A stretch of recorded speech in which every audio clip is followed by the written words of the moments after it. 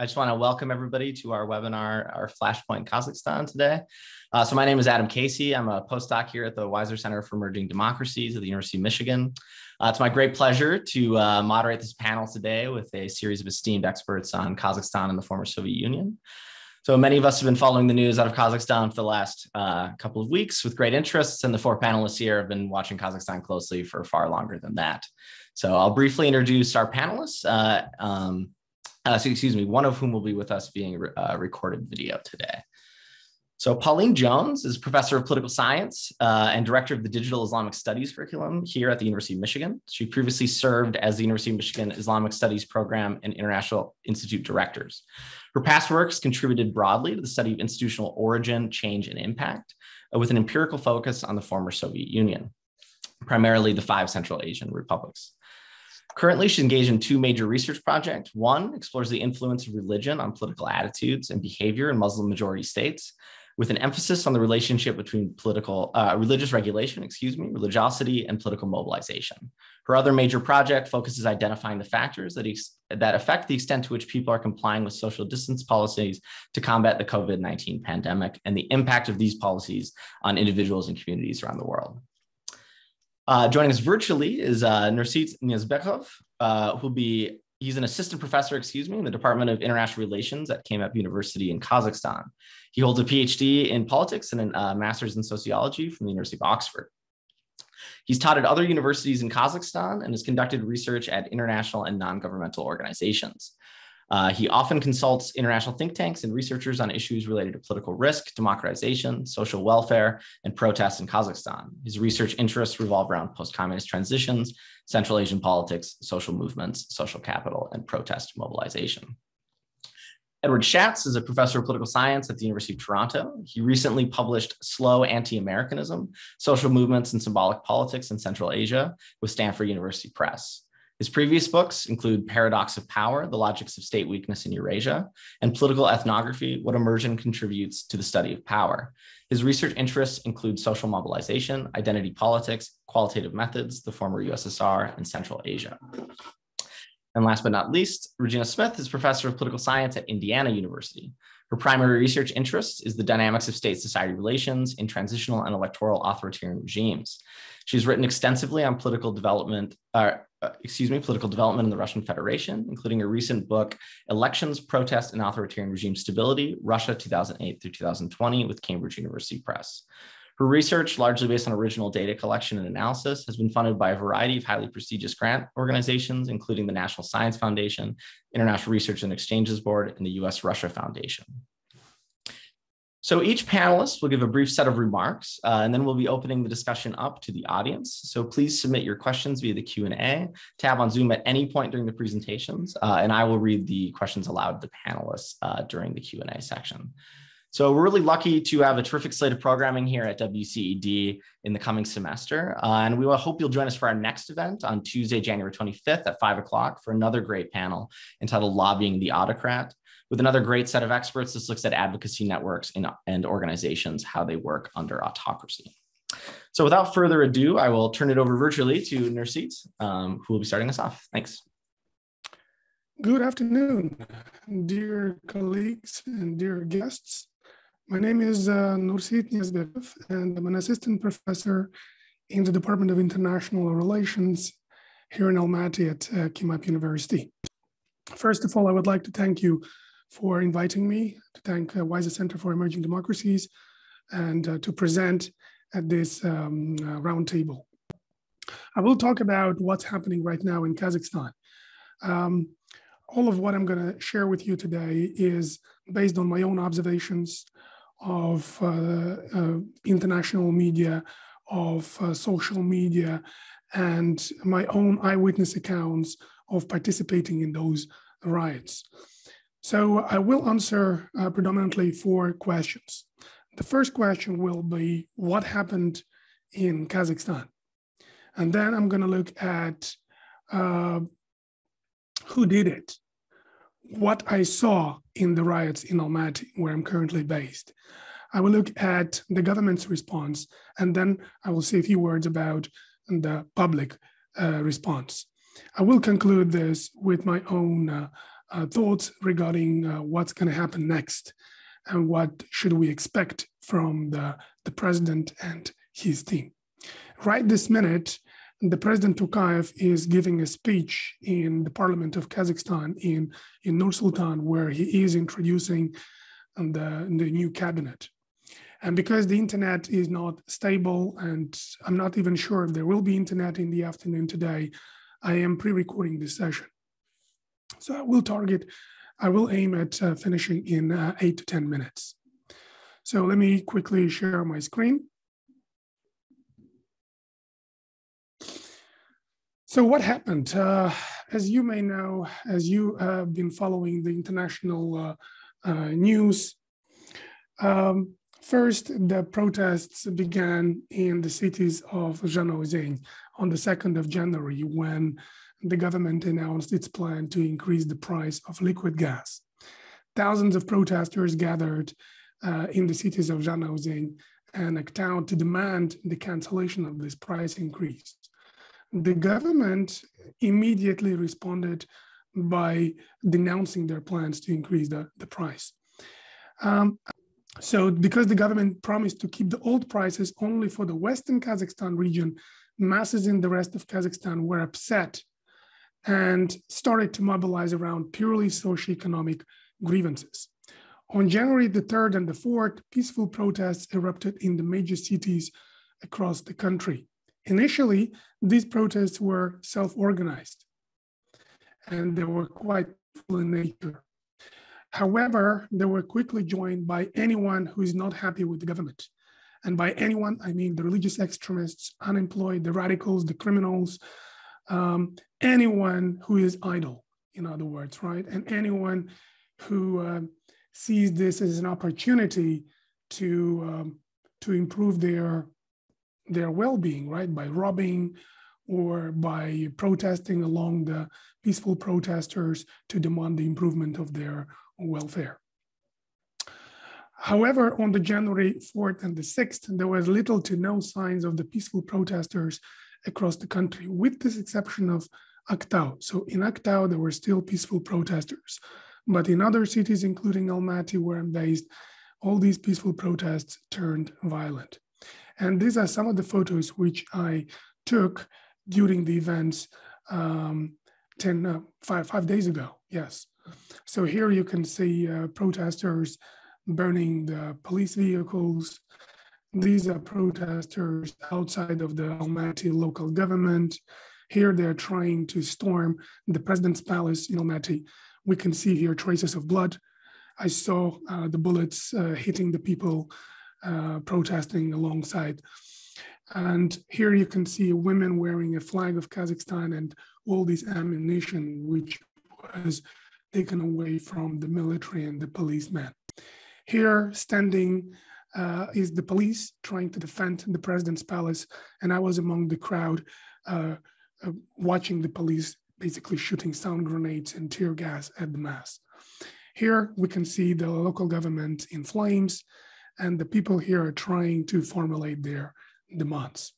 So what I saw during the riots, I marched with the crowd in Almaty from the outskirts to the lo local government on January the 5th. Observed the crowd storm the police and government buildings, attack the police and military, marauding shops and destroying public property.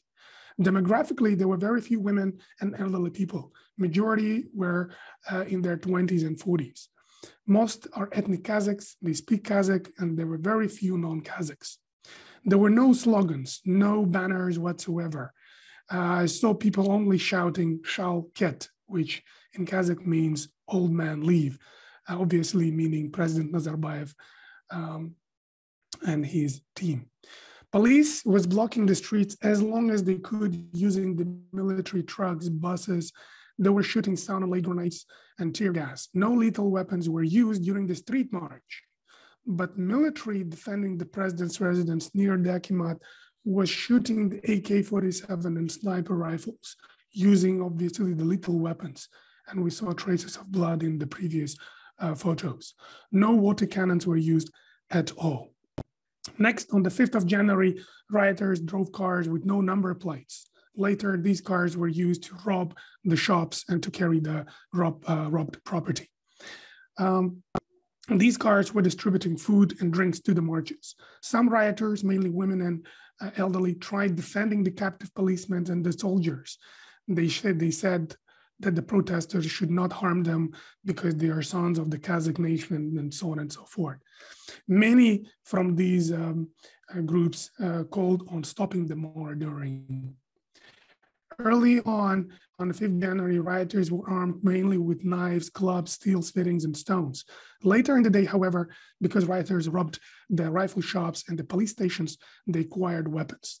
No police or military whatsoever was visible in the city since January the 5th midday until January the 6th right uh, in the in the late evening during this time violence murdering and complete disorder and chaos was taking place internet outage began on january the 5th and continues up to the present day so who did it there are three no's here first there was no sign of kazakhstan's formal or informal organizations involvement DVK, the notorious Ablyazov, was absent. Oyan Kazakhstan, uh, the Koshchei Party, Democratic Party, none of them uh, were amongst the protesters. There was also no trace of any social or religious movement, no civic activists or no opinion leaders involved, and I saw them. I didn't see any of them in the crowd. No evidence of foreign intervention no Chinese, no Russian, no uh, Western or any other troops involved here, with the exception of, of course, the Collective Security Treaty Organization's troops. Okay, so they're not only Russia's troops, they're also troops from uh, Belarus and Armenia. But they were all representing the CSTO troops together. Peaceful protests were self-mobilized, utilizing social media, but they were later joined by what government officially calls terrorist groups aimed at the coup d'etat. This is what the government has been uh, translating and uh, sending a message across to the people uh, throughout the, the days. What is the government's response? Disturbed by the countrywide escalation of peaceful gas protests, the government immediately revoked its decision on price increase, but was unprepared to face the transformation of protesters into all out violent riots. Government's intelligence and security apparatus either underestimated or completely ignored the potential radicalization of protests in Kazakhstan cities. This is why President Tokayev first fired Masimov from the post of National Security Committee and then dissolved the cabinet. Due to the failure of law enforcement to contain violence, Tokayev requested help from CSTO in the form of peacekeeping troops, which were deployed on January the 5th to cities of Nur Sultan and Almaty. Officials claim that CSTO troops helped take control of Almaty and other cities by the end of January the 6th. Currently, the National Army and police are finalizing counter-terrorist operations in Almaty and Taldykurgan, the cities with the largest casualties among the civilian and among the police, and destroyed infrastructure. What about the public's response? Judging from the formal and social media, my own conversations with the people across Kazakhstan over the phone and in the streets, fellow academics and experts, I observe the following um, facts. First, there is a popular disillusionment with Nazarbayev, his family, and supporting elites. There is a growing popularity of Tokayev, his policy decisions, and continued presence during the turmoil. Tokayev did not leave the country. He was online all through the events. There is also widespread disapproval of violence and the murdering. So the public is highly critical of this. There is approval of government communication strategy. Uh, through by sending the SMS messages, people were kept in the loop of what's going on in the country. So the government was keeping the feedback mechanisms intact. There is growing collaboration, public collaboration with the military in punishing the perpetrators and the public in general shows interest in helping the government catch these perpetrators. There are now also heightened expectations of the future post Nazarbayev reforms. So, to conclude, elite uh, conflict or clan conflict is evident in Kazakhstan between the Nazarbayev and Tokayev supporting elites and the groups. About 10 years ago, uh, people were asking what would happen when Nazarbayev dies or when he steps down. One of the scenarios was uh, the Nazarbayev would appoint somebody who would carry on his uh, policy. Okay, this is what happened uh, three years ago when Nazarbayev appointed Tokayev. But there was another scenario when Nazarbayev would unexpectedly pass away, or his followers, his elites, would challenge the new incumbent, the Nazarbayev's incumbent, in order to take control of the power. And this is what um, happened in Kazakhstan, in my opinion. Paralyzation of police and military during the 4th and the 6th January throughout the country is viewed by Tokayev as a sabotage by security apparatus. Hence the resignation of the top security officials and Tokayev's replacement of Nazarbayev as the head of Security Council. Next, currently the Nazarbayev's elites are bargaining to save face and minimize harm to their business and security interests. While Tokayev, with the help of Putin, remember the um, CSTO troops, Tokayev is trying his best to consolidate the power and enhance his legitimacy in the absence of Nazarbayev around. How he's going to achieve this? He's going to announce a new cabinet, which is done by the time that I'm going to finish with this presentation. We will appoint a new cabinet. He's going to also pursue a very harsh and public punishment of the terrorists and those behind. So according to some um, uh, opinion, it was the Nazarbayev's nephews, the Nazarbayev's family members in Almaty district who were behind this plot. Next, Tokayev will denounce previously enacted unpopular decrees, uh, including the one uh, that in, that was about to increase the price of the gas, and there are many others. Next, he's going to introduce some populist policies again, in order to enhance his legitimacy and to strengthen his, his, uh, his rule. And finally, one should also expect a potential dissolution of the parliament. Okay, and um, someone might even speculate that he's going to go as far as uh, change or return back the name of the Nur Sultan to Astana. He's going to change the name of the university, holding the Nazarbayev University, change the street names and everything but time will show if this is uh, true or not. But in general, there is a very optimistic mood in Kazakhstan, and the people are trying to um, aggregate, trying to be to come around uh, Tokayev as their new president, as somebody who put an end to these violent riots, as somebody who was around while Nazarbayev is still there's still no signs of Nazarbayev. So this is um, my account of what happening, what's happening in Kazakhstan. I would like to wish all of you a very fruitful discussion and all the best from Almaty, Kazakhstan. Take care and bye. All right, thank you for very illuminating remarks. Uh, remarks, excuse me, from Nurseit. Uh, so next we will have Ed Schatz from the University of Toronto. Um, I can't stop start my video. Somebody needs to do that for me. I think. Uh, Derek, that should be. Uh, oh, okay. oh, there we go. There we go. Okay, fabulous, great. Thanks. No, that was uh, that was a terrific, you know, setting of the stage for thinking about this, and of course, the firsthand account by somebody on the ground is is is absolutely essential. I might, um, you know, there are other there are other accounts, and so, some of them are going to be a little bit different from what we got from from Nurseit, and at least at the margins, and so that's worth uh, worth considering as well.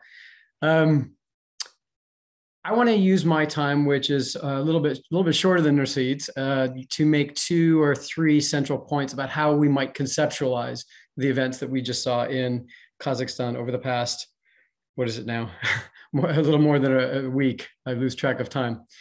The first point I want to make is that when we narrate the uh, Kazakhstani events, we tend to start with the fuel price hike at the beginning of the year or maybe if we want to go back in time, we go back to the Zhanaozen events, the so-called Zhanaozen massacre in 2011, when striking oil workers were um, killed on, on mass in a, in a what became a national tragedy. But my contention here, my point, my first point will be that that uh, social mobilization and, and contentious politics have been going on for much longer than that and have been much more continuous and much less punctuated than that kind of account would suggest. That's the first point. The second point is that we often will hear uh, the events in Kazakhstan uh, described as, as being spontaneous. And there's something to that uh, depiction. They were indeed surprising in their scope and in their the rapidity with which they they developed. In fact, all you had to do was blink, and the the whole trajectory of events changed within the span of, of 24 hours. We were talking about this being potentially revolutionary mobilization, and then all of a sudden it was the revenge of the regime.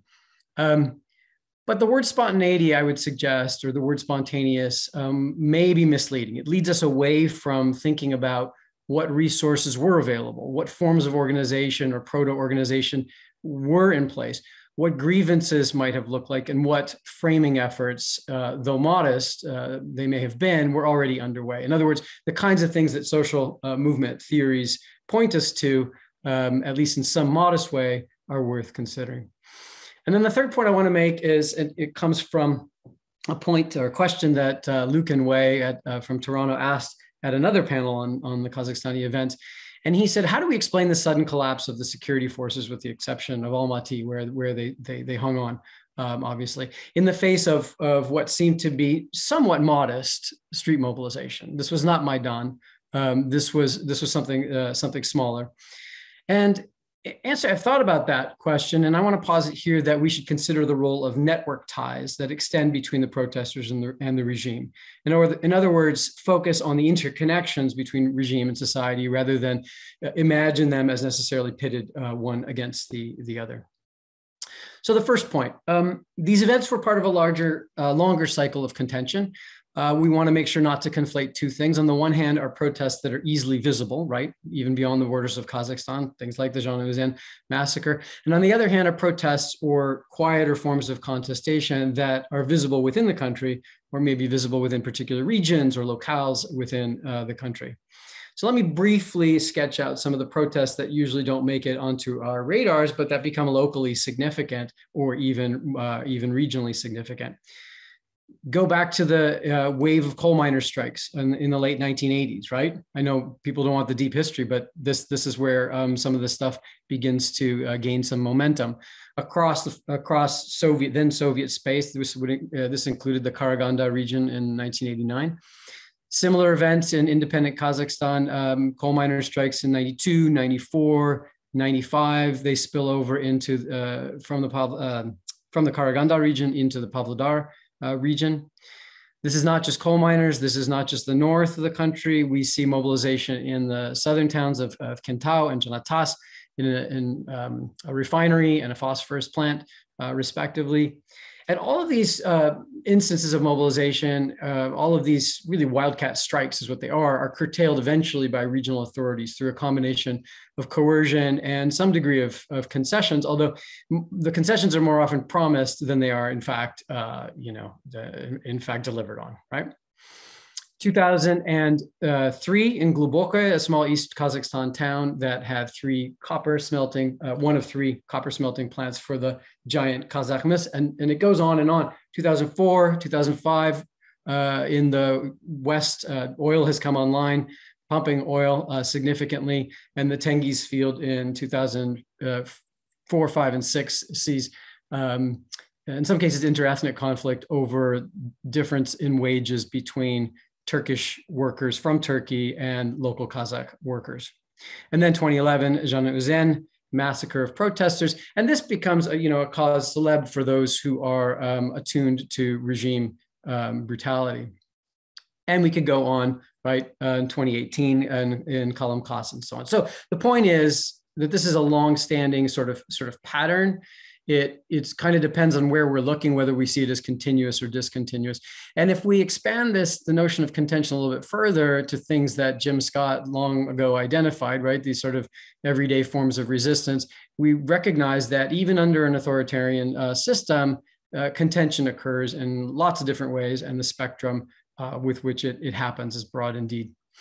The second point on spontaneity. Um, certainly the protests uh, were disorganized uh, even chaotic, um, even before the the uh, arrival of um, those who were intent on uh, on creating violence, and it was leaderless, right? Or maybe maybe there were you know leaders here and there, but there was no uh, no clear uh, leadership. But here, if we look to Wendy Pearlman's work on Syria, right? She has a couple of interesting um, pieces recently. I think it's very instructive. She talks about mobilization from scratch, meaning that there really aren't, we shouldn't be thinking about mobilization as, as having particular preconditions. Um, a lot of the things that we assume to be necessary for mobilization can materialize quite quickly. So, and this is more in the form of hypothesis because I'm not on the ground in Kazakhstan, haven't done the research, but um, how might the resources that are typically necessary for mobilization have been initially absent but materialized quickly? How might political opportunity, also initially absent, right? Because this is an authoritarian regime, seem to have pretty pretty clear control. How can um, this political opportunity be rapidly opened in a cascade of new possibilities? You can theorize that in a variety of ways. How might the typical story of top-down framing strategies, right, by mobilizers seeking to recruit for a particular agenda, and I've used that uh, that that uh, framework myself. How might that be uh, complemented by considering myriad multiplying bottom-up or horizontal framing efforts, right? So if we expand our field of vision to things like what's happening in the arts or what's happening in music, you know, I mean, I know that's not the bread and butter of political science, but these things too may, in small ways, animate um, small forms of protest and can gain momentum as we um, as we um, as we see, um, particularly through social media and so on.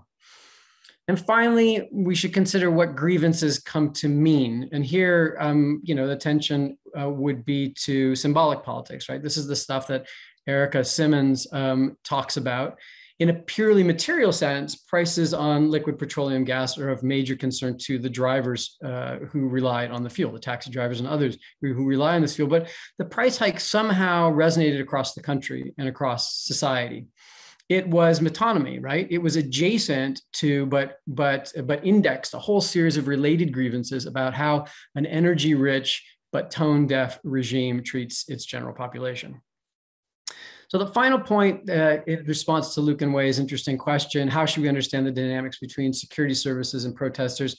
Again, realm of hypothesis, but it seems consistent with the research that I've done uh, over the years across uh, this space.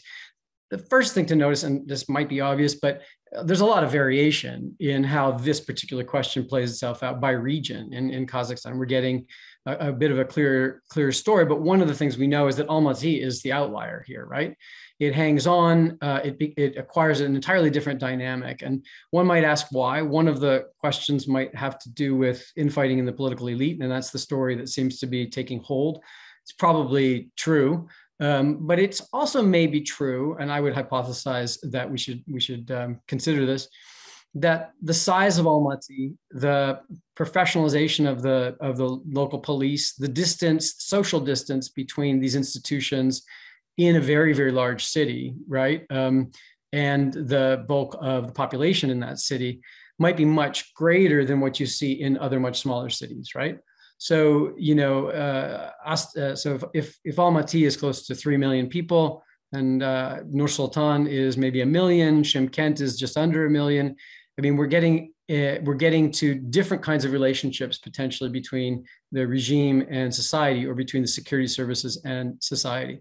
And so what we see outside of Almaty as the outcome, and uh, you know, I, I don't, there are many locales I don't know specifically what happened, but the ones we have reports for is that you know at some point protesters are left to their own devices right by the security services they don't want to crack down they let them have have their way or or i guess and in some cases, security forces visibly cross over to support the, the, the, protesters themselves.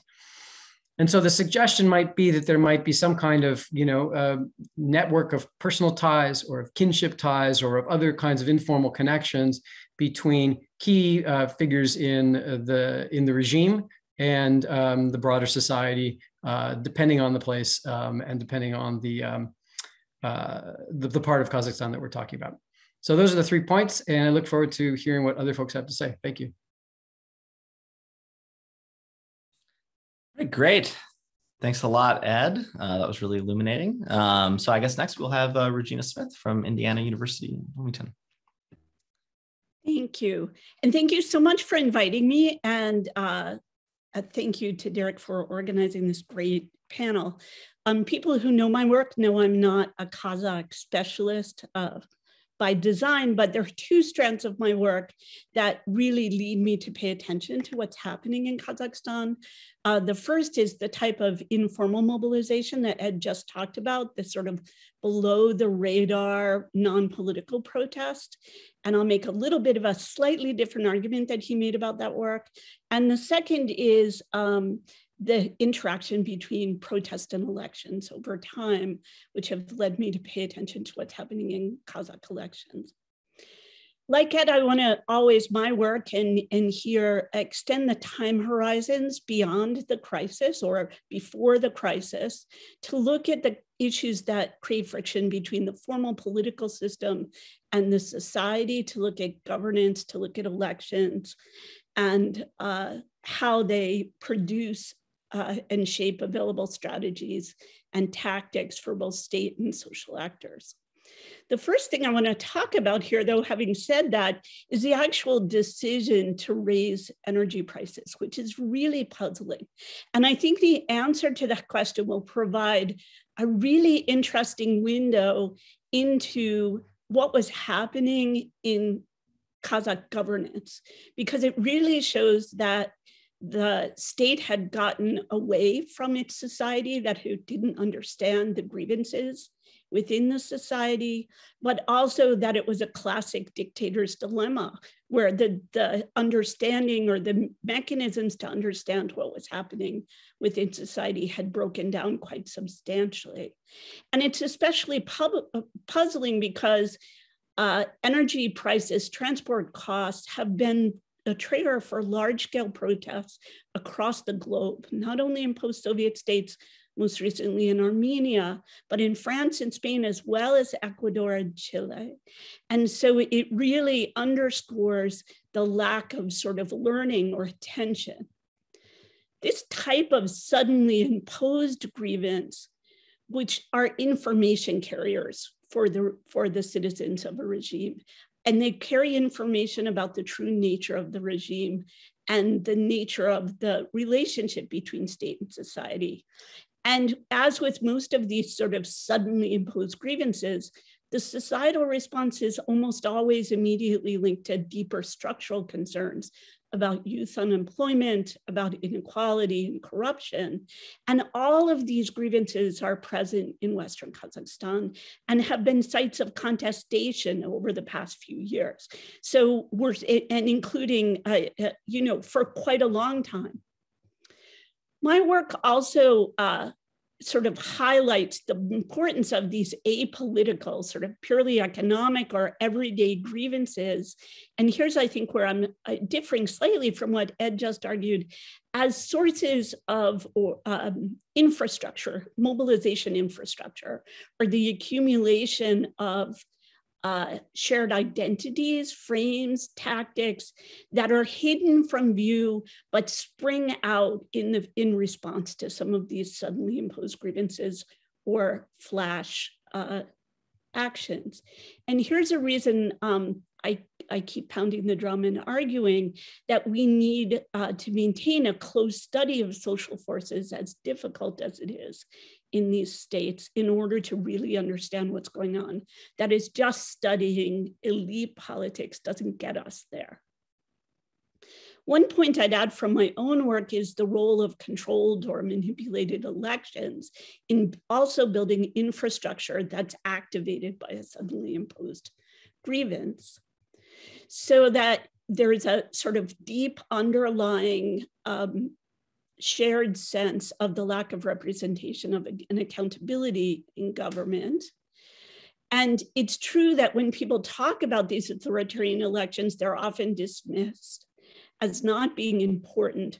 But that's because we focus on outcomes, which really reflect state control of electoral processes, but probably not even state capacity. But we don't look beyond it to think about how they create wells of emotion, anger, for example, frustration.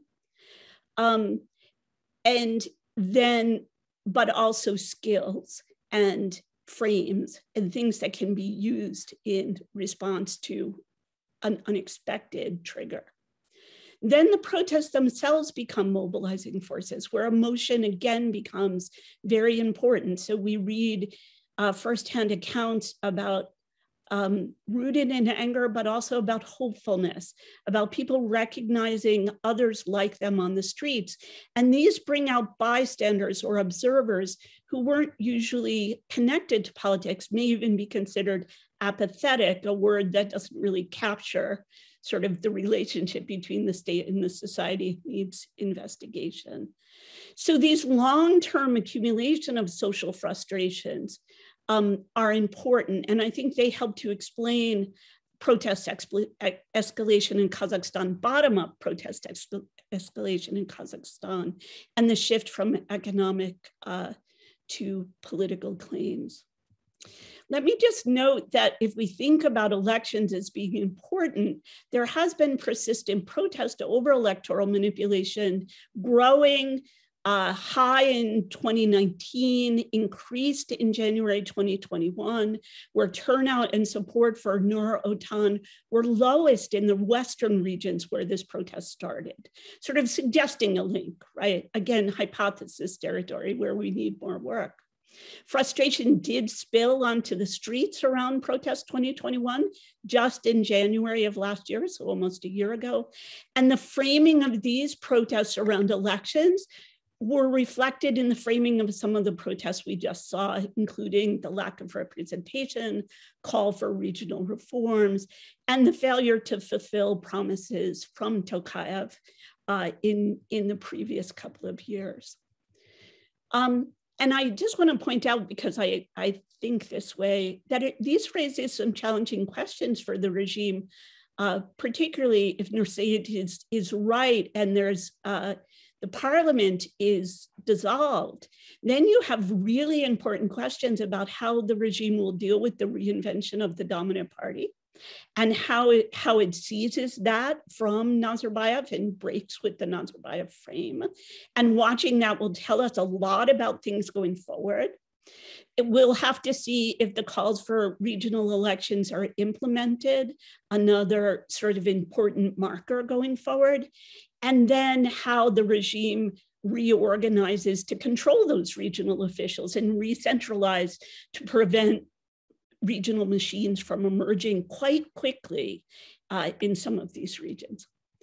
So finally, um, I want to talk just uh, uh, the third point, third point from my work is that we need to pay attention to the tactics to manage um, potential dissent going forward, but including how the state is going to deal with massive arrests. So we see co-optation of uh, citizens in dealing with violent protesters, but how will they deal with nonviolent protesters who are arrested?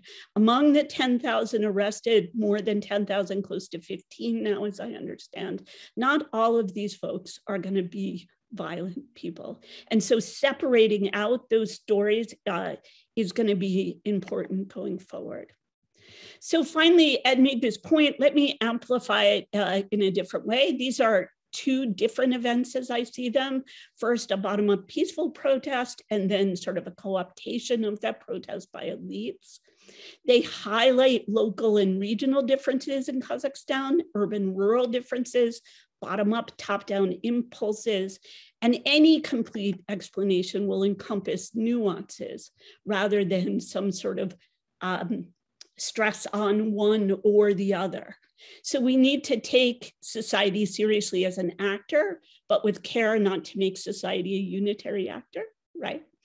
Um, and we need more research focus on what's going on in small towns and rural provinces to anticipate this study. Second of all, and here's where I'm going to end, is to ask all of us to take more time to untangle the relationship between protest, top down and bottom up. Um, Ed brilliantly just pointed out that this is going to vary across cities. It's certainly going to vary across cases so that we really are at the very beginning in social science to think about how these two impulses interact and to really theorize about the factors that shape those interactions, um, including the nature of the patronage state, the organization of elite business, uh, the control of the security services, structural issues like class, urban, rural, and cleavages and so forth. So here's where there's a real big project in front of us to move forward. And I'll end there. Great. Thanks for another set of really interesting remarks. And last but certainly not least, we have University of Michigan's own uh, Pauline Jones. Thank you so much, Adam. Um, thank you for stepping in and uh, moderating. It's really um, great to have you. Uh, I want to thank Derek Groom and Dan Slater, who wasn't able to be here, for organizing this panel. And I want to thank my panelists because um, they gave such a great uh, set of remarks and set me up so well uh, that I can build on their insights. So um, I think we've heard a lot um, on this panel and, and elsewhere about what these, um, how these protests started, who was involved, what they might mean, how we should interpret them. And that's all great and that's all important. I've been trying to shift focus um, in my own thinking about this to what this all means for the future of Kazakhstan. It's a country I've been studying for decades and that I care deeply about. And so it's, it's something that's really um, uh, kept, kept me thinking and, and, kept me worrying, if I can be frank. Um, I, think that shifting focus to, to what this means for the future of Kazakhstan means um, thinking of this historical moment um, or recharacterize, re, yeah, recharacterizing the events uh, over the roughly the past week or so as the end of a political transition that began in 2019. Um, and of course, you know the, the, political transition I'm referring to, um, the, the one in which um, Nazarbayev made his first, first exit, March 2019, and anointed uh, Tokayev as his successor.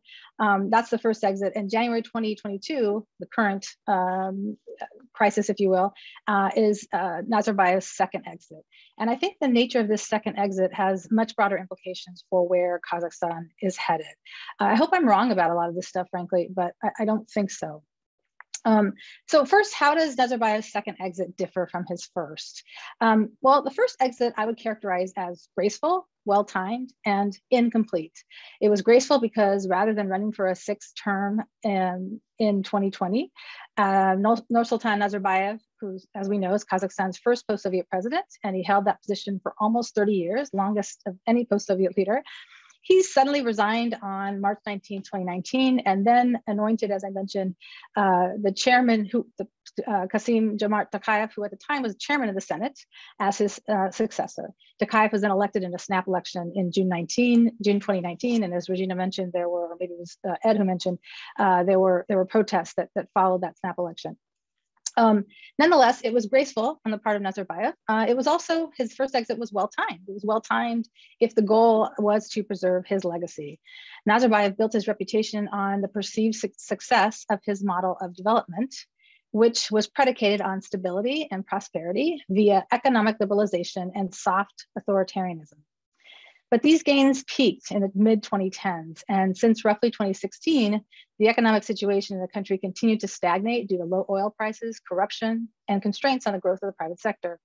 Not unrelated, Kazakhstan also experienced increased popular discontent and political mobilization, forcing the government to utilize its sovereign wealth fund to both support the economy and to increase social spending.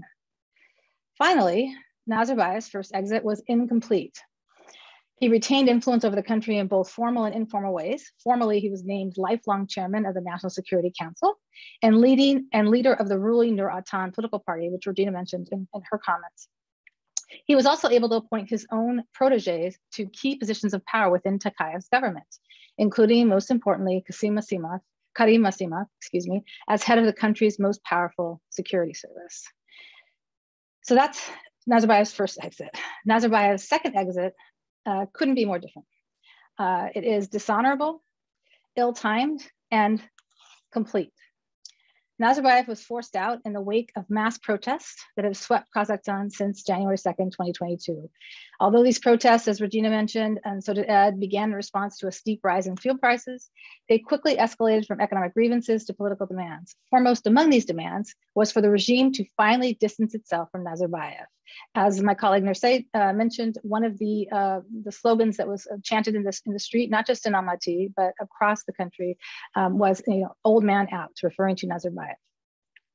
Tokayev responded by not only dismissing Nazarbayev from his position as chairman of the National Security Council, but also removing Nazarbayev's political allies, including Masimov, in the security apparatus and replacing them with his own.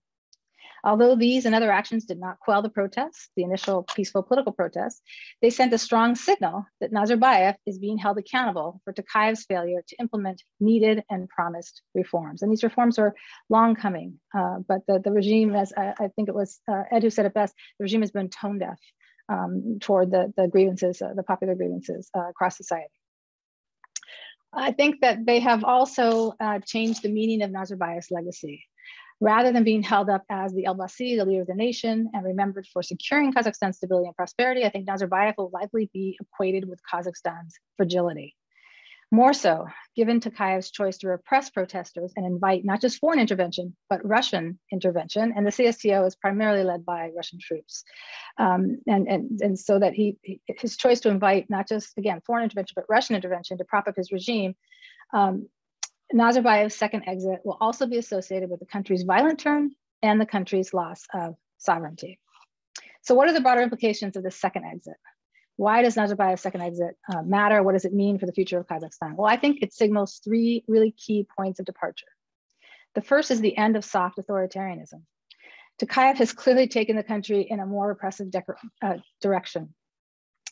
His decisions to move swiftly to violently suppress the protests and then order the, the and then the order to shoot to kill on January 7th has opened the door to the use of state violence as a tool of regime stability.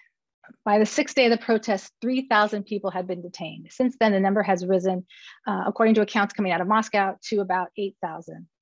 Um, for sake of comparison, consider this. In Uzbekistan, which is arguably considered the most repressive regime in the region to date, the United, the United States Council on um, uh, International Religious Freedom estimates that at its height, Uzbekistan had seven to 10,000 political and religious prisoners uh, detained.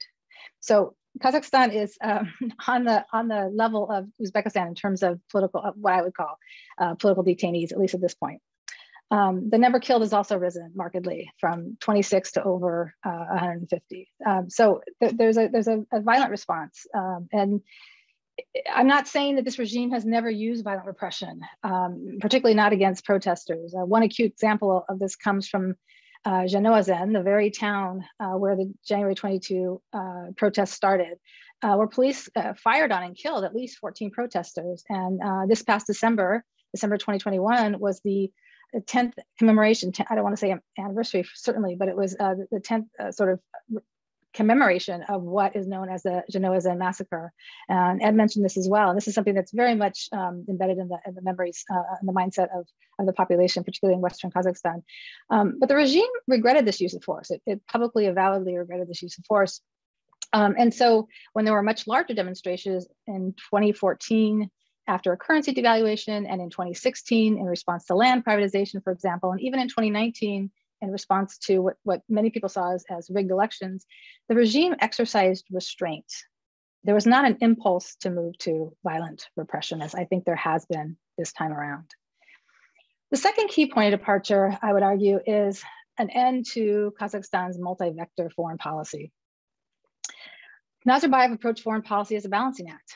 Uh, many people have, have made this argument. Um, he had remained friendly towards Russia while also maintaining good relations with the West so that he could court Western leaders and energy companies. And he did an, an excellent job of it. Tokayev's actions bring Kazakhstan further away from the West and closer to both Russia and China. This is not just a mere uh, turn to a more repressive authoritarian regime. It is also clearly a turn toward authoritarian solidarity with both Russia and China. By taking Kazakhstan's authoritarian regime in the direction of greater, direction of greater repression, it is now in lockstep with the two major authoritarian players in the region. Tokayev's request for direct military intervention to combat quote unquote foreign terrorists is right out of the Russian and Chinese playbook for justifying state repression. And in fact, Tokayev's harsh response to protests was explicitly embraced by both President Xi Jinping and President Vladimir Putin. But never mind the symbolic implications. Russia has boots on the ground, and this has serious consequences for Kazakhstan's future, even if the intervention is only short term. Uh, for example, for popular discontent um, and thus future popular mobilization. Uh, if if if Nurseit's uh, incorrect, and and he he has uh, eyes on the ground that I don't have. Um, he has a perspective that that I, I, can't share because I'm not physically on the ground. I respect very much his point of view. Um, he, he might uh, argue that um, the population, or he has argued that the, the population um, saw, sees Tokayev in a different light, sees him as, as strong, um, and um, is is appreciative of, his his presence during the crisis, uh, and that maybe this has increased in some way his popularity and his legitimacy. Um, I'm not so sure about that. I think that might be a short-term popularity bump, you know, sort of a crisis bump. I think future popular mobilization could be directed against Tokayev if he continues to remain tone deaf and he continues to um, dismiss uh, popular grievances um, and to sort of buy his own narrative that this was really about um, foreign terrorists and not about real the real need for political and economic reform. Um, at the same time, I think the intervention from the Russian troops, the CSTO um, troops, but primarily Russian, um, has implications for Tokayev's loyalty to Putin, and thus for the future types of, of decision, uh, key decisions that we can expect in the future. So, if um, if those uh, commentators that I've read, you know, in, in, in Russia are right that in some ways uh, Tokayev brought in the Russians to signal to Putin that he um, his attack on Nazarbayev or his, his dismissal of Nazarbayev did not mean a change in the political direction of the country, then Tokayev clearly is not serious about reform, and we're not going to see serious political reform. Um, so that's something to think about. Um, the other thing I'll say is that on, um, I think it was yesterday, like like Ed, the, the, the week just uh, seems to go by so quickly and, and, and, time has been suspended at the same time in, in, a strange way. I was listening to an NPR interview, and I think it was yesterday, it might have been the day before, but um, the uh, Kazakh ambassador to the United States, the Kazakhstani ambassador to the United States was being interviewed. And one of the things that he said that I thought sort of confirmed this, this point of view that Tokayev's signaling uh, to Putin that, that the end of the Nazarbayev regime does not mean the end of a very close relationship or even a closer relationship between Russia and Kazakhstan, um, was that as the NPR interview kept pressing um, the Kazakhstani ambassador over and over again for when the Russians would leave, he finally um, uh, and very combatively said, We are not afraid of Russia. We have no reason to fear them. And I thought that was pretty telling. Um, relatedly, the third and final uh, point of departure, I think, is um, this is the end of Kazakhstan's global image of stability, prosperity, and sovereignty. This is an image that Nazarbayev very carefully cultivated. Uh, and this was the case for both international and domestic audiences, because it really helped secure the regime's legitimacy, both at home and abroad. Um, and, but I think that that this has really changed all of that. Uh, Tokayev has a lot of work to do if he's going to rebuild that image. I, I, I really don't think it's possible. Uh, internationally, I think there's a huge loss of credibility in the West. Um, there's also it's a strong signal uh, to the West, um, as well as to other states in the region, uh, that Russia will not hesitate to intervene in what it considers its sphere of influence. Domestically, um, again, I think the Russian troops could have nationalist backlash. I, I, I may be wrong about this. Um, I, I, think it depends on how long they stay. It depends on what their perceived role is. There's a lot of mixed reports. Some reports saying that um, Russia was needed to stabilize the situation, and so it was involved in quelling the protests or riots, um, uh, the violence on the streets, and others saying that Russian troops were only there to uh, protect uh, military installations, airport, government buildings. But there, there are mixed reports there, and so it really depends on what people perceive the role of the Russians to to, to be, how long the Russians stay, um, whether or not um, there's a perceived loss of sovereignty with uh, Russian troops, whether or not Russian troops are perceived as being part of, of um, uh, the, the regime violence. Um, and I think all of this is going to eventually affect regime legitimacy for better or for worse. If their states right, it seems that the regime's legitimacy will, will grow. Uh, Tokayev's popularity may increase. From my perspective, I expect probably to see the opposite. And I think that if the re regime legitimacy is at stake, if Tokayev's popularity is, is, is at stake, takes a big hit, um, this could reinforce uh, Kazakhstan's repressive authoritarian trajectory. And I think we'll know more about this. Uh, you know, as, Regina mentioned, I think we'll know much more about this um, when the elections are held or if the elections are held. We're supposed to have local elections in 2023, new presidential elections in 2024. And the question is, will those elections be held and under what conditions will they be held and what will be the aftermath of those elections? One might argue that the regime could anticipate um, that the elections might be a focal point for greater protest and might, might try to um, delay them uh, indefinitely. Um, so thank you very much for, um, for the chance to, to be part of this panel.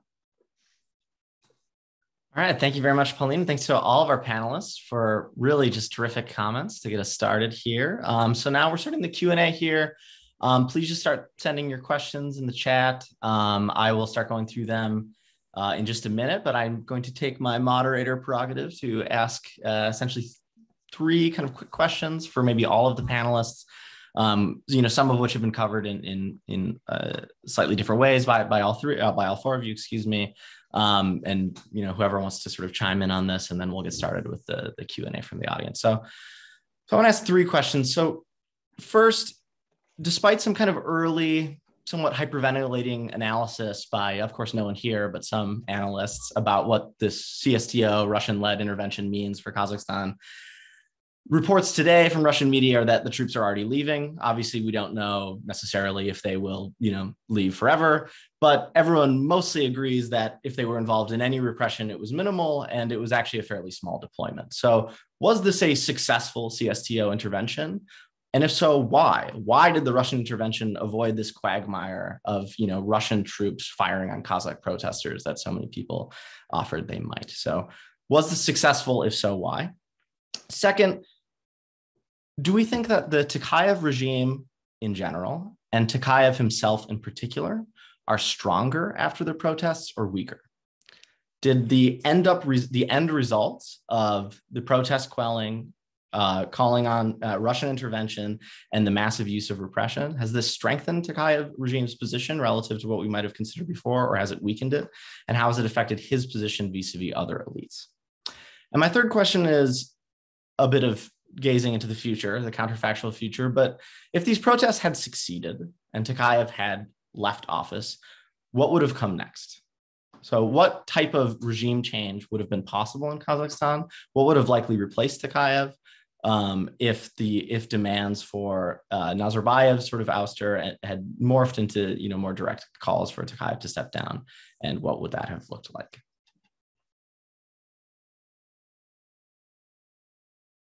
And in the meantime, I will start looking through these other questions. If anyone wants I'm, to jump in on I'm that. happy to start if, if, if that's okay with Regina and, and Ed. Um, I, I think with the CSTO, it depends on how you look at it. Uh, was it successful? From the perspective of the CSTO, it was hugely successful because it's actually uh, an organization that does something. Uh, it's been an organization that's been, you know, relatively dismissed, that has no role, that it's nominal anyway. And, and you know, it's it's just nominal, and um, it was actually called upon to intervene, and it did so, you know, immediately. Um, so from from the, there are two big winners here. The CSTO is a big winner, and Tokayev is a big winner, I think. So that kind of segues to your second question. Um, I think it's made Tokayev stronger in the short term. He's certainly stronger vis-a-vis Russia. I think, I actually think this argument that, that comes out of Carnegie Moscow, it's not my argument, but I think it's smart, that one of the ways that Tokayev was signaling that his um, dismissal of Nazarbayev was not uh, a rejection of the Russian regime. The Russian regime was very close to Nazarbayev and the Nazarbayev regime um, but rather an embracing and, and, and of the Russian regime. Um, that was one of the real the reasons that Tokayev uh, invited the CSTO, I believe. Uh, um, so I think it's made him stronger vis-a-vis Russia. Um, I think it's made him stronger vis-a-vis other elites because uh, you know again he's he's shown his his position um, is is um, uh, the, the, the ouster of, of Nazarbayev, as I said, that second exit is, is complete. Tokayev's in charge. He now has actual full control over the country uh, as long as he can get the security, keep the security forces on his side, and I think he can with Russian help. I think that's that was part of the signal. Um, but it's it's not clear. Um, you know, and Nurseit and I disagree about this. It's not clear what the effect the repression on the protesters is going to have. It's, it's really about the extent to which society by some of uh, Tokayev's narrative and whether or not Tokayev actually engages in meaningful reform. And, and I can't predict that, but I'm not optimistic, uh, I would say. And finally, um, asking whether the protest has succeeded, um, uh, whether a different regime would have um, uh, uh, materialized. That wasn't the point. My, from my perspective, um, that wasn't the point of, for what I've seen on the ground uh, or, or, read it from others that have been um, bear, bared witness to, to what's going on, on the ground. The protesters' demands were not for the ouster of Tokayev, they were for the, the ouster of Nazarbayev. And so I don't think we can measure the protest success in terms of um, whether Tokayev stays or goes. Or I don't think it was an anti-regime protest. Um, I don't think it was a revolutionary protest. I think it was make these political and economic changes, these reforms, you know, implement your promises. Um, and um, one of those certainly was distancing uh, the regime, the Tokayev regime, from the Nazarbayev regime. So it's done that, but now what? Will it continue um, to do that in a meaningful way? And so that's that's what I would say. Great. Anyone else want to jump in on that? Sure. Um, yeah, no, those are those are great comments and processing as as usual, as always, actually. Pauline gets me gets me thinking. So thank you. Um, uh, so on the CSTO, yes, totally agree. 100% successful from the CSTO perspective, though it's not clear again, you know, how much the CSTO exists separate from you know uh, from being an instrument of Russian foreign policy. So it strengthens Russia. It's a success for Russia. Whether it's a success for the CSTO as separate from Russia is maybe a matter of semantics. But um, Tokayev is he weaker or stronger after the after all of these events? I mean, I think that's right. He's probably stronger um, at the moment, but at the cost uh, at the cost of a, uh, a loss of sovereignty, right? Um, or at least the perception that there's a there that this introduces a whole series of vulnerabilities on the part of the regime that where Tokayev is now uh, beholden to is the strong version, but or at, you know at least has to take into consideration Russian interests always now. So I, I, do think it's the end, as Pauline rightly mentioned in her in her earlier, earlier remarks, the end of this multi-vector foreign policy. So the, the cost there is significant in terms of the loss of sovereignty and what that means. I don't think anything happens, any major reforms happen without Russia Russia casting its shadow across any kind of deliberations or any kind of consultations, any kind of change that might begin to materialize. And I also think that you know, you know, the short-term stability. I think that there it introduces longer-term fragilities, right? Because you know the brutality of the crackdown. I assume, just like as we saw with Zhanaozen, you know, you, you can keep the information bottled up for a while, but I do think enough people were deeply traumatized by this. And the spin you put on that, right, is foreign terrorists or it's business interests mobilizing their thugs or whatever only works until it doesn't work right and then and and people begin they saw something with their own eyes and i think it's easy enough especially in our the world we live in now to, to, to, to see other narratives simultaneously. And then you go, oh, no way, that was, that was Tokayev who was responsible for, for the brutality. It could be a possible narrative going forward. So that's, that introduces a new, a new fragility. Um, the, the final thing, the future, if the protest had succeeded. So, I mean, yeah, I think that's right. I don't think that there was a clearly articulated, you know, Tokayev out uh, kind of kind of thing but this is really the question going forward. So I'm not going to answer your question particularly as a you know as a crisp you know counterfactual, but but I do think that the real question is um, can uh, Tokayev and Pauline was getting to this. Can Tokayev distance himself from Nazarbayev? Can he because he really is a protege, right? Of, of Nazarbayev and and to what extent will the general population, especially those who harbor grievances that you know are hard to address in in the short term um, uh, even with even assuming the political will to do so. Um, to what extent are they going to are, are, are those who were involved in protests and various and there are various protests? We could break that down further, but are they going to see Tokayev as really essentially different from Nazarbayev versus an opportunist, uh, somebody from that mold who has done you know too little and and unfortunately with the new cabinet i'm not sure i mean i don't know a lot of these characters if, if i can be very honest but from what I've heard, most people are, you know, they're not Nazarbayev people, but the question is, are they just replacing, you know, or, or will they come to be viewed as just replacing one kind of corrupt elite with another corrupt elite, right? And that's the key question because you may be continuing Nazarbayevism even if you've made a move from Nazarbayev. I jump in with just two tiny points. First of all, on the CSTO there's a lot we don't know yet. I think we already said this. Um, the Russians had very few troops on the ground, but evidently were airlifting massive amounts of equipment and other types of resources. And what that looks like over the long run, I think, is going to be really interesting and important. Um, for Putin, certainly, and I'll just opine, this is a success in the sense that the 30% of the population who truly supports him and wants him to be a strong leader sees Russian force coming in, going out, costless, just the way Putin likes an intervention, right? Short and sweet. And, and so in, in the short term, it's good for Putin and probably has very little um, costs. On what this does for Tokayev or a Tokayev regime personally, I, I think everybody said the same thing. There are strong trade offs, but I want to underscore something I heard Nurseit say, which is a, a, huge strength or potential strength, which is renegotiating with business uh, leaders to bring them into his camp and keep them safe and protect them. So this is going to be a rebuilding of loyalties. And all of a sudden, this looks like an important structural opportunity on the other hand, popular expectations are so high now for significant change that I agree it's difficult to see how it's coming. That, that on the one hand, he has this structural advantage in this moment, but in the medium to longer term, it, it looks like something threatening. Great. Okay. Thank you very much, everyone, for answering my questions. Uh, so now we'll turn to the audience. We have one from, we're going to go in somewhat random order here, but one from Maria Popova. Uh, so she asked something that I think a lot of different people have been asking throughout this. And so she says, she wants to know with, uh, you know, now with the, with the passing of time, are we any closer to knowing whether Nazarbayev's very quick dismissal is a signal that Tokayev thought this was the best way to prevent further escalation of the protests, or that he used the opportunity to send Nazarbayev into retirement and consolidate his own power, or both. So this is a question for the panelists. Can I jump in here? I'm going to say uh, both. It was both.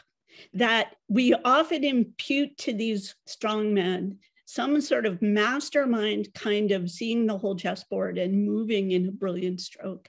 And I think in the moment when Nazarbayev was asked to leave, dismissed, um, it was pretty early on in the process. And then very quickly, it became something else. But I want to push back on the idea that this was sort of a mastermind stroke from the beginning uh, but rather a set of strategic decisions that have worked out pretty well so far, but create different kinds of problems. Uh, Pauline or Ed, would you like to, Ed? I just want to say that Regina said it beautifully. I mean, I think that that's, I think that that's exactly right. I think that especially in the fog of, um, or in the, in the, the rough and tumble of rapidly changing events, it becomes very difficult, even if you have a master plan, to, execute your master plan. So it, it's possible that he had this in mind. Um, you know, I mean, I can't imagine that he was he was immune to thinking, um, at least in hypotheticals, uh, at what point will um, you know it, it not be useful or might it be counterproductive? But this is an opportunity. I would say it's probably a moment that uh, that he seized rather than something he planned out. Yeah, I would just add, thank you, Adam. I would just add that um, they're not mutually exclusive, and I think that's that's kind of what Regina and, and Ed were saying as well. Um, and that um, you know, I, I said uh, in response uh, to a question in a, in a, different panel, you know, that, that I actually think Tokayev kind of panicked. You know, I don't, I, again, I don't think he masterminded, it was, were super strategic. Um, at the same time, I think that there must have been some cost benefit analysis going on in his head once he got rid of Nazarbayev in terms of thinking about how he was going to be able to maintain control. And I think that was connected to some of the other decisions that he made. He wanted the protests to stop. He didn't want them to escalate. He, he was thinking, I think in his mind was Kyrgyzstan. Um, he, he, you know, he, he had no intention of um, losing control and stepping down. Okay, great. Thanks for that. That was a really good question. Thanks, Maria, for the, for sending that along too. So I'm going to maybe combine two questions I have here from Amanda and Zarina. Um, so they both ask about the role played by international organizations in this process. So um, uh, both Zarina and Amanda want to know the kind of role that, you know, in one case, specifically the Organization of Turkic States, which sort of issued a statement supporting Kazakhstan. Uh, did this matter? Did this kind of help the Kazakh regime's legitimacy, affect its foreign policy orientation? Um, it, the second kind of question I suppose is that it is is from Zarina, and that's you know, did human rights organizations kind of play any real meaningful role in this in this situation? Has their role changed over time? Um, etc. So if anyone wants to jump in on the role of uh, international organizations, both based in the West and you know other ones, maybe the Shanghai Cooperation Organization, other types of you know organizations playing any kind of role other than the CSTO in this process.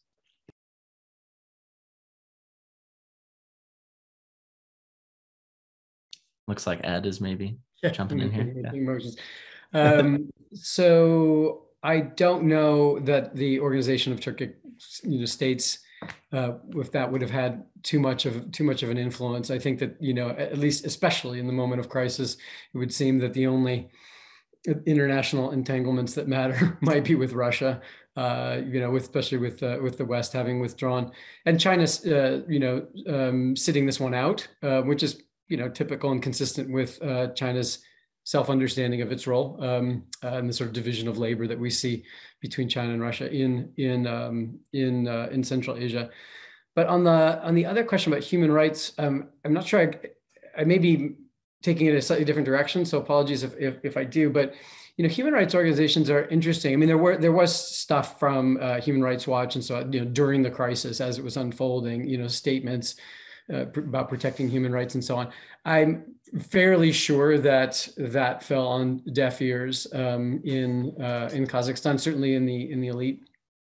But um, I would point out a, a, slightly different role that these kinds of organizations play because, you know, uh, for example, I think it was Human Rights Watch did a, um, a, three or four years ago did a terrific report, and it was in Russian and in and, in English about um, about uh, dirty tricks in in, in labor uh, uh, regimes, dirty tricks with regard to labor mobilization, right? And uh, you know, so it wasn't strictly a sort of human rights, although it's not unrelated to it, but it was really about what the regime does to undercut the labor movement and and uh, prevent. And, and and I don't know how widely that circulated, but it's an interesting sort of question because it's it's sort of how do we get from these local protests or protests that are local and maybe with specific kinds of grievances to something, some kind of broader awareness of, again, linking my fate, even though I'm not an oil worker, to the fate of oil workers, right? And so I, I think that you know this, the the role of these kinds of things, uh, you know, again, realm of hypothesis, but we we might consider that. That's just a small little bit I wanted to throw in there.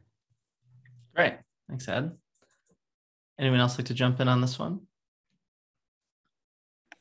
So let me just add uh, uh, two very quick points. Uh, the other person who was quick, who was, I think, maybe almost first to jump in to congratulate Tokayev on his swift uh, dealing with disorder was uh, Orban.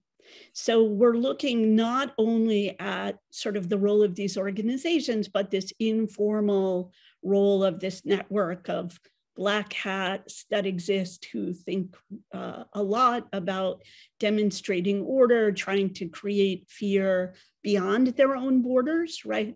Fear, repression. Belarus has been, the Belarusian example has been used very effectively to create fear of disorder, but also state violence beyond its borders. And I think that's some of what's happening. Um, Orban's maybe in trouble opposition's pretty fragmented. Erdogan's in trouble in Turkey. We, we see threats to these black hats. And I think that, that this episode has deep symbolic meaning, demonstration effect. Yeah, I, I, I wasn't going to jump in on this, but I, I that just triggered something that I've been thinking about a lot, which is this this move toward authoritarian solidarity. I think I, I mentioned it in my remarks, but it just it's this broader implication of you know can you any longer be an authoritarian regime that has friendly relations with the West. I mean, it seems like there's a there's a real choice to be made. There's there's um, it's an either or. Okay, interesting. Uh, yeah, Ed, unless you're Saudi. Unless you're Saudi. Saudi. Yeah. yeah. Can I, Pauline? I'm sorry, Ed. I didn't mean to interrupt. Go ahead. So no, Pauline, no, no. I, I just, I mean, there's, you know, there's, there, but I, I, think you know these are the exceptions. I think Pauline's probably right about the general trends, but um, there's there seems to be a firewall around the Saudi American relationship, at least for now. I I just wanted to say that I've been really not a believer in the rhetoric of New Cold War, but these events and some of these um, ideologic uh, differences, again, between authoritarian capitalism, liberal democracy. It's starting uh, the the actual um, use of the the CTSO to to we're starting to get actions behind the rhetoric. We're starting to see ideologic divisions that are real. It's starting to be hard to cross the border unless you're Saudi or maybe Qatar UAE, I don't know, but but we're but I think that we're we're really entering a new phase exactly as Pauline described it, and this to me is a is a big change. So maybe to piggyback off that to keep the Cold War going, let's play. I want to have maybe kind of two related questions. So first, let's play a little Cold War Kremlinology, and I was like, what is Putin's main takeaway from this? In and I what I mean by this question is many people have made the argument that Putin watched Nazarbayev's transition in 2019 with great interest, not only because it was a friendly neighboring autocrat, but because it offered a potential path for him to extricate himself peacefully from day to day governing of the country to become the kind of Lee Kuan Yew or an ERA kind of type transition that we saw in earlier periods. So, what does he take away from this? And secondly, on this, you know, so I, my, you know, previously skeptical of this kind of you know Russian intervention on behalf of autocracy type stuff, and the fact that you know the Russians declined to intervene in, in multiple other occasions. So so why, especially if the protests were not about removing Tokayev, why did Russia intervene here? And especially given that Peskov earlier that day had given essentially this is a sovereign issue, we're not really going to do it. There was no real indication from the Russians that they were at all actively considering coming in. And yet they did. And in ways that are actually quite different from even Belarus in 2020, when they were quite silent for the first few days and then eventually came through with a pretty strong position in favor of Lukashenko. So what you know no to armenia no to kyrgyzstan thrice in recent years you know why Kazakhstan now? I guess is my question, panelists, as well as what is Putin taking away from this? So um, maybe I'll get. Oh, sorry, Regina, did you want to go? Okay. Um, no, I mean, I just I've, I've been thinking a little bit about this. Uh, uh, uh, you know, this is not if this is the Cold War, of course, or new Cold War. It's uh, you know, it's a, it's it's it's got a different sort of.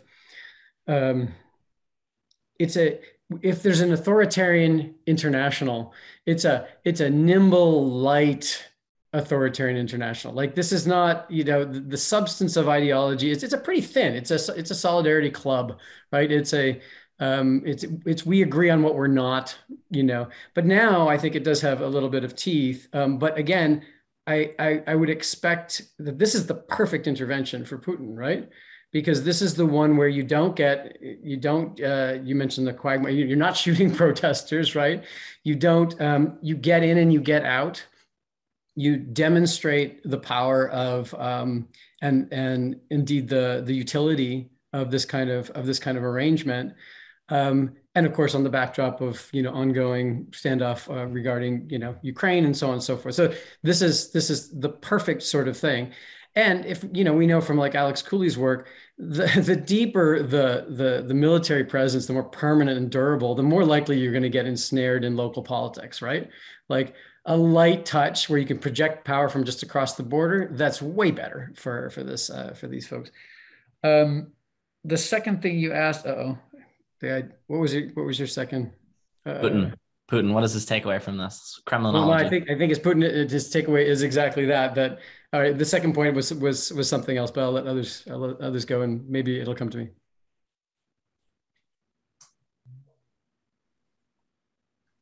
So first, I was hoping Regina was going to say that I was wrong about the authoritarian solidarity because I really do want to be wrong. Um, I just I'll start with that because that's that's where Ed uh, finished, and I'll go back to, to Putin. But um, which of course authoritarian solidarity is related to Putin. I I, I don't think that um, this trend is happening solely because of what um, Russia and China are doing. It's also what the West is doing vis-a-vis Russia and China. Um, so the, the Russia-China partnership is becoming increasingly focused on being anti-Western because the West is also focusing on, I mean, particularly under our previous administration, on being anti, not Russian per se, but anti-China. Um, I, I just think there's a lot there's a lot to be said there uh, in terms of, of how this has all transpired. It's not just that this the authoritarian camp is, uh, you know, learning that that they um, they're ideologically aligned and that they need to have organizations uh, akin to NATO with more teeth, as, as Ed put it, but that the West is, has been mm, complicit, if you will. Um, it's, so it's not a trend that's happened in a vacuum. I guess that's what I want to say, but, but I'm not saying it very articulately.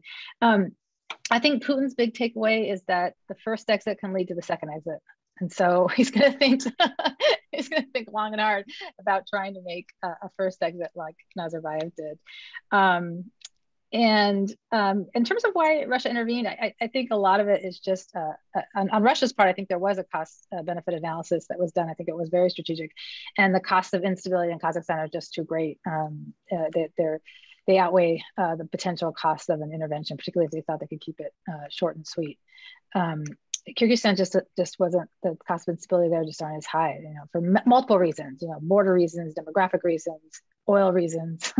um, so that that would be that would be my like kind of really basic take on that. Great. Regina, have you? I can't now. I'm, kept, I'm losing track of who's all had a chance to weigh in here. Otherwise, Ed has I remembered that, his second that point. Ed and Pauline sort of covered it. I, I, I think that Putin, Putin learned he either needs to retire to his palaces without power, um, or to stay in office forever, right? Which I think he did not want to do. Um, but I also want to underscore that what another thing that Putin has learned is that many of the conditions that were in place in Kazakhstan that led to this flash are also prevalent in Russia. And if you want to know why Russians' regime acts this way often, it's because they feel this regime has felt since the early 2000s that it's sitting on top of a powder keg and they have not solved any of the problems that have caused that powder keg. And those threats have only grown. And there are no solutions on the horizon. And this last year in Russia, we have seen an incredible move towards authoritarianism that is unlikely to stop. And so maybe it validated that move. Great, thank you. Uh, and Ed has remembered his second point. So Ed. Miracles will never cease. Um, so yeah, my second point was, uh, you know, your question was why, why, why send troops to Kazakhstan? I mean, let's not forget that CSTO was asked, right, by by Tokayev. Unless we think, oh, oh, Pauline's shaking her head. Unless we think that there was some kind that that was just the end of a process. Um, they were asked before in other interventions, right, and declined in Kyrgyzstan multiple times. In Armenia, they were asked to come in and declined. I'm not sure there was ever a form. Oh, in Armenia, okay, I don't know, but in Kyrgyzstan, I'm not sure there was ever a formal ask being made. It was sort of like the, you know, there's a there's a, there's a process. I mean, so then you know, but eh, okay, fair enough, fair enough. So it may be that uh, maybe that I got this wrong. There was a call, telephone justice, right? Okay, got it. It's all done on the phone. Fair enough. And, and, of course, we only get this gesture because we're over 50. That's right. Good point. Adam, did you understand it? No, probably. I did. I actually did. Yeah, I'm not that. I'm not that young, but uh, but I'm flattered that you thought I might not get it. So there you go. I actually um, thought okay. you just thought you were at a rock concert. That's right. Yeah, that's right. I think it does mean something like love or something. I don't know. Love's a different one. I don't know. Hang ten. Um, Okay, well, uh, I don't know if we'll have. I guess okay. So we have one maybe final question. Somebody wants to weigh in on this quickly, and then uh, just any concluding remarks, and then I just want to thank my panelists. But so we have a question from from Christopher, which I think is a question a lot of people in Brussels and Washington are asking right now, and whether or not the events recently in Kazakhstan change at all uh, prospects for conflict in Ukraine. So has this uh, was this such a successful CSTO intervention that it essentially is going to have no effect on Ukraine? Is this something that uh, is going to affect other Russian foreign policy uh, behavior in the near term? So I'll just say that I've been trying to follow the military implications of troops into Kazakhstan. And evidently, well, we see that it didn't stop the movement of troops from Buryatia to the Western Front. So troops have been moving during the protest period and subsequent to it. Uh, the forces that were put in from, I think, Tomsk uh, are now going back. And so militarily, this wasn't a big burden. It was a burden on transport. It really did burden transport facilities. So that's an important thing. Whether or not those are going to continue, we're not clear on. And you know, bandwidth. We again sort of ascribe this regime with this incredible capacity to keep balls in the air and juggle. And it's in fact quite conservative. And so I'm sure this wasn't the first choice of the Putin regime. Um, and I do think it takes away a little bit of bandwidth, although I did see um, that some, you know, in the in the constant disinformation machine uh, announcements that the talks between the U.S. and Russia over Kazakhstan, sorry, over Ukraine had come to a, a, a an impasse, and um, all was dark. So it's hard to know, right? But militarily, I don't think this is a big challenge. Okay, if anyone wants to weigh in on that, um, my own two cents would be that warm weather and mud is probably going to be a bigger problem for an intervention in Ukraine than uh, than moving troops from Kazakhstan. But we'll see if they overcome that problem as well. But um, okay, I want to thank uh, all the panelists, which is a terrific set of experts here today and a really good conversation. Thanks for joining us at WCED. And I just want to remind uh, everyone of two things before we go. First is that uh, all of the panelists present today have actually recently written uh, really illuminating pieces for the Monkey Cage blog and the Washington Post, uh, which Derek will hopefully share in the chat. And uh, everyone should check out whenever they get a chance. And um, also, please join us on January 25th for another great panel here at WCD. Uh, so thanks, everyone. Stay healthy and uh, be safe. So thanks a lot.